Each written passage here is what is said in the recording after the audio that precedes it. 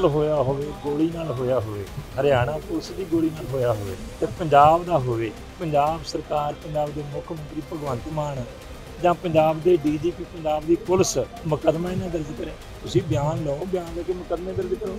ਪਰ ਨਹੀਂ ਕਰਨਾ ਚਾਹੁੰਦੇ, ਕਿਉਂਕਿ ਹਰਿਆਣਾ ਕੇਜਰੀਵਾਲ ਦਾ ਸੂਬਾ ਹੈ।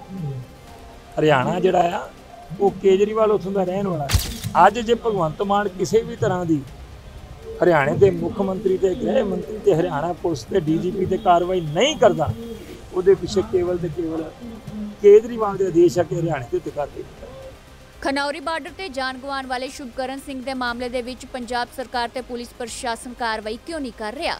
ਇਸ ਦੀ ਵਜ੍ਹਾ ਕੇਜਰੀਵਾਲ ਤੇ ਉਸ ਦਾ ਸੂਬਾ ਹਰਿਆਣਾ ਹੈ ਇਹ ਕਹਿਣਾ ਹੈ, ਸ਼੍ਰੋਮਣੀ ਅਕਾਲੀ ਦਲ ਦੇ ਸੀਨੀਅਰ ਲੀਡਰ ਵਿਰਸਾ ਸਿੰਘ ਵਲਟੋਹਾ ਦਾ, ਜਿਨ੍ਹਾਂ ਕਿਸਾਨ ਅੰਦੋਲਨ ਦੌਰਾਨ ਜ਼ਖਮੀ ਹੋਏ ਕਿਸਾਨਾਂ ਤੇ ਸ਼ੁਭਕਰਨ ਸਿੰਘ ਦੀ ਮੌਤ ਮਾਮਲੇ ਦੇ ਵਿੱਚ ਪੰਜਾਬ ਸਰਕਾਰ ਵੱਲੋਂ ਕੋਈ ਕਾਰਵਾਈ ਨਾ ਕੀਤੇ ਜਾਣ ਤੇ ਸਵਾਲ ਚੁੱਕੇ ਨੇ।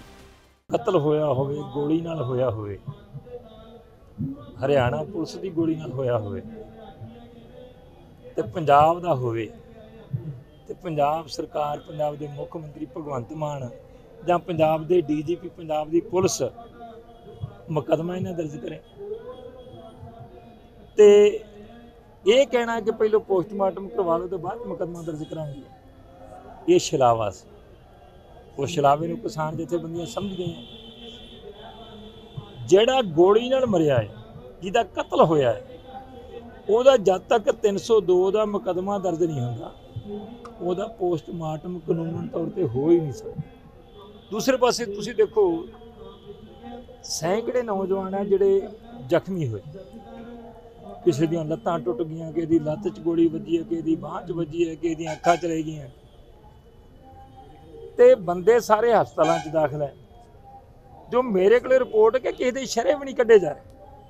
ਕਿਉਂਕਿ ਕੱਢ ਨਹੀਂ ਸਕਦੇ ਐਮਐਲਆਰ ਕੱਟਣੀ ਪੈਣੀ ਹੈ। ਹੁਣ ਐਮਐਲਆਰ ਤੱਕ ਕੱਟੀ ਨਹੀਂ ਜਾ ਰਹੀ।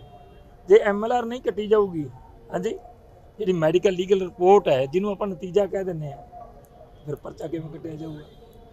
307 ਦੇ ਮੁਕਦਮੇ ਜਿਹੜੇ ਇੰਨੇ ਜ਼ਖਮੀ ਹੈ ਚਾਹੇ ਪ੍ਰੀਤਪਾਲ ਸਿੰਘ ਹੈ ਚਾਹੇ ਹੋਰ ਨੇ ਜਿਹੜੇ ਪੀਜੀਆਈ ਨੇ, ਹੋਰ ਹਸਪਤਾਲਾਂ 'ਚ ਨੇ, ਉਹਨਾਂ ਦੇ ਕਦੀ ਕਿਸੇ ਨੇ ਬਿਆਨ ਲਏ ਹਾਂਜੀ, ਤੁਸੀਂ ਬਿਆਨ ਲਓ, ਬਿਆਨ ਲੈ ਕੇ ਮੁਕੱਦਮੇ ਦਰਜ ਕਰੋ।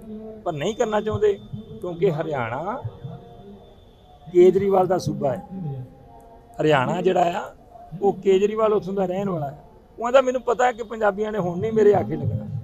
ਹੁਣ ਨਹੀਂ ਮੇਰੇ ਝੂਠ 'ਚ ਫਸਣਾ। ਕਹਿੰਦਾ ਕਿ ਮੈਂ ਹਰਿਆਣੇ ਨਾਲ ਹੜੂਤਾ ਜੀ ਅੱਜ ਜੇ ਭਗਵੰਤ ਮਾਨ ਕਿਸੇ ਵੀ ਤਰ੍ਹਾਂ ਦੀ ਹਰਿਆਣੇ ਦੇ ਮੁੱਖ ਮੰਤਰੀ ਤੇ ਗ੍ਰਹਿ ਮੰਤਰੀ ਤੇ ਹਰਿਆਣਾ ਪੁਲਿਸ ਤੇ ਡੀਜੀਪੀ ਤੇ ਕਾਰਵਾਈ ਨਹੀਂ ਕਰਦਾ, ਉਹਦੇ ਪਿੱਛੇ ਕੇਵਲ ਤੇ ਕੇਵਲ ਕੇਜਰੀਵਾਲ ਦੇ ਆਦੇਸ਼ ਆ ਕਿ ਹਰਿਆਣੇ ਦੇ ਉੱਤੇ ਕਾਰਵਾਈ ਨਹੀਂ ਕਰਦਾ।